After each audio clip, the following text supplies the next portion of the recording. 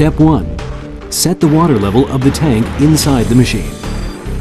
1. Set the coolant water leakage switch closing at the highest level and set the coolant water leakage switch opening at the lowest level.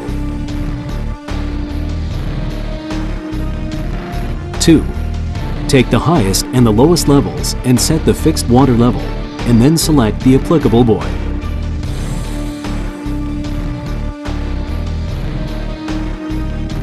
Three.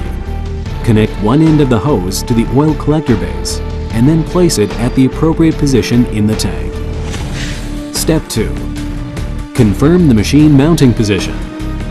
1. Measure the length of the unit and the tank pipe and cut the pipe to the appropriate length, and then connect all pipes to the designated positions in the machine.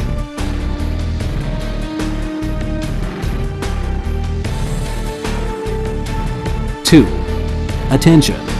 The outlet pipe should not be higher than the outlet port. Three, do not insert the return pipe into the tank more than 3 centimeters deep. Step 3. Levelness Calibration 1. After completing the machine installation, adjust the levelness to the position indicated by the leveler for the waste oil separation tank to achieve the required leveling effect. 2. After completing the levelness calibration, top up the waste oil separation tank till to the highest point of B tank. Step 4. Connect power and check if the voltage is set at correct 110 volts, 220 volts. Step 5. Control panel figure setting. 1. Water pumping unit. Action time 20 minutes. Stopping time 10 minutes. 2. Oil skimmer unit.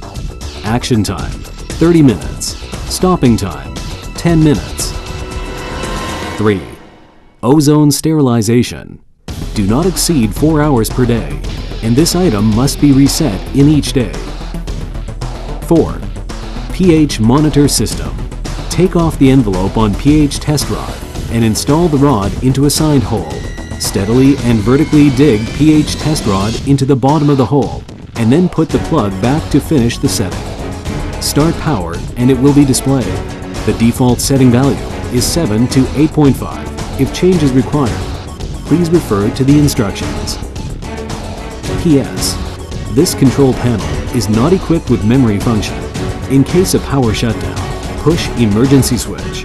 In this case, the memory will be reset to zero and the control panel should be reprogrammed.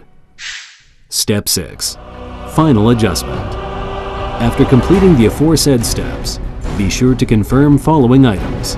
1. Check if the length of the selected buoy is correct and if the suction force is normal.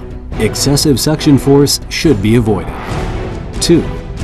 Check if the flowing of return tank and wastewater tank of the waste oil separation tank is active at the same time. If the return tank does not show any water flowing and the water content of the waste oil tank is too high, then it means the levelness should be recalibrated. 3. Check if the control panel setting is correct. After confirming the aforesaid installation as correct, proceed with the routine maintenance according to the operation manual.